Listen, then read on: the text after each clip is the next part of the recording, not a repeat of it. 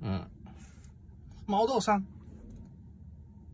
毛豆山，咦，可以跳过广告看电视。What's your favorite browser extension? Uh, online shopping is easy, but not always affordable. 嗯虽然我有会员但是我没有登录 Honey, But not this one. This one. Here's how Honey works. Anytime 好玩吗？Mm. coupon, 好玩吗？it will apply it. Basically, Honey pulls $10 out 嗯，好像没什么兴趣啊。嗯，这个灯 but it's not. It just takes two clicks. You click here and you click here. Even Chandler can do it.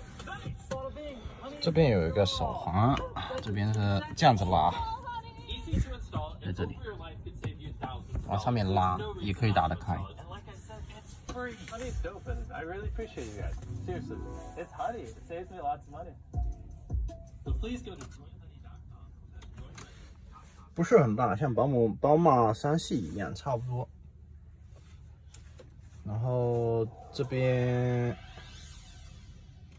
然后他肯定不喜欢看这个。来，我给你换，我给你换别的看。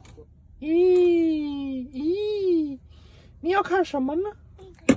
你要看什么呢？看，看看这个。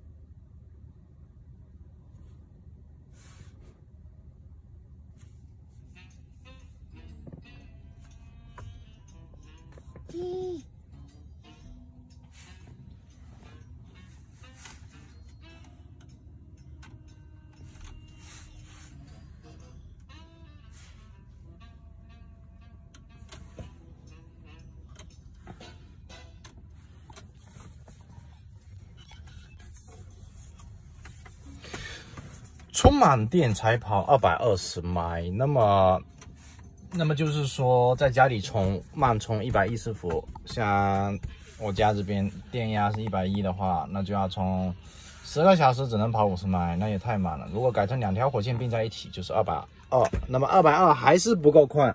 二百二的话，也就是说，充十个小时你只能跑一百迈。那那如果快去去充电站充的话，充电站其实还好，主要是什么？太远了。如果离家近的话还好，如果离家太远，不划算。而且呢，呃，它虽然送了四年的免费充电哈，如果开的多的，开电召车的那些人，或者开那些呃什么出租车的，哎，你买这个车去开真的划算，因为几年下来，你这个油费的钱就基本省出来了。虽然说车价只有四万五，那么他送了这么多的话。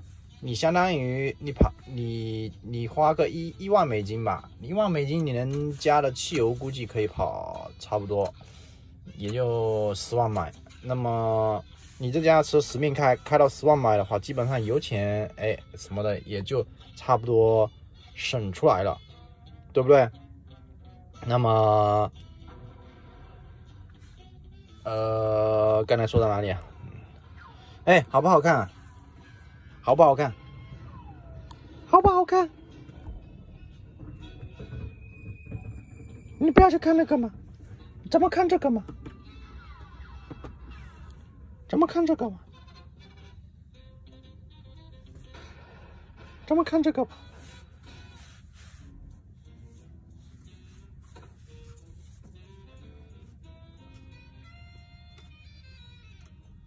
咦？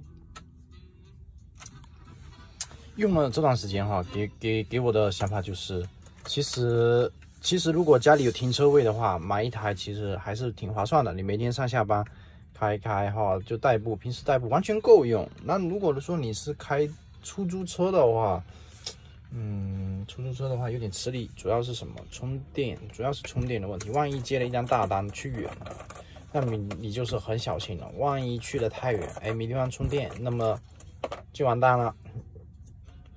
还有就是，目前虽然说他们充电桩是越来越多，越来越多，但是，呃，还是还是不够多。如果它能多到，它能多到像加油站一样，就是每每去一个地方都有加油站，是不是？那加油站里面如果多加一个充电站的话，那就好用了，方便多了，好不好？哎，那不不舒服，把这个弄掉，不绑安全带了，按按这里，对对，按这里，嗯。充电站虽然说，呃，如果你过了这一个 promotion，就是说过了优惠期，优惠期过了之后呢，充你没有用优惠去充电，充满电跑二百二十迈，那么差不多电费是在八美金左右，二百二十迈八美金，四百迈十六块，其实比汽油还是便宜的，比普锐斯还要便宜的一半，呃，就是车价还是算贵的，我是觉得吧。它那个里程数还算太低，如果买高里程版的，哎，那还差不多，至少要三百多迈以上你才够用。而且如果这是两百多迈的，你像你开出去随便干一件什么事情，一百多迈就干掉了。剩下的话，你不能把它电全部放完，你把电全部放完就像手机一样，你把电全部放完，它电池的寿命就会降低。那么最好的是。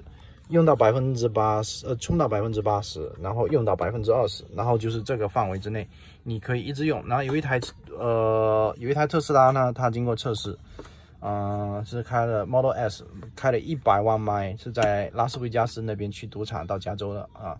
看报道是这么说。然后呢，它开了一百万迈，基本上基本上没有坏过，基本上就是说电池拿出来最后测试寿命，电池的能量还有。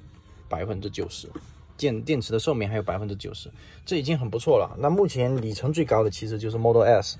那么目前来说，唯一不好的就是它里程太低了，这个是低盖版的，盖中盖，那么只能跑二百二，其实是不够用，完全不够用。如果稍微去远一点的话，你比如说中途想去哪里，哎，加个塞呀，去哪里玩一下，那你的计划就乱了，因为它一定要。规划好你要去的路线，路线。那么你自己乱跑的话，比如说中途有个什么想法，想去看一下什么湖啊什么的，就没办法了。那么远远就不够，超出你所计划的范围之内。所以说还是没有汽油车那么方便吧。但是这个也很难讲。嗯，诺基亚，诺基亚不是再牛逼，最后不是也没了吗？所以说未来电动车。嗯，就就跟那个智能手机一样，也可能会成为主流吧。但是怎么说呢？你看，呃，卡车，卡车就另当别说了哈。卡车，你说做电车的吧，那也是不太现实。你看小车都还没普及的，再说卡车。但是但是卡车我们学到的是什么手排的？那我觉得这个完全没必要的，还是还是会被淘汰的，还是有一天会被淘汰的，因为。这个也算是今后的主流吧。那么今天就分享到这，嗯，挺好的一台车，不错。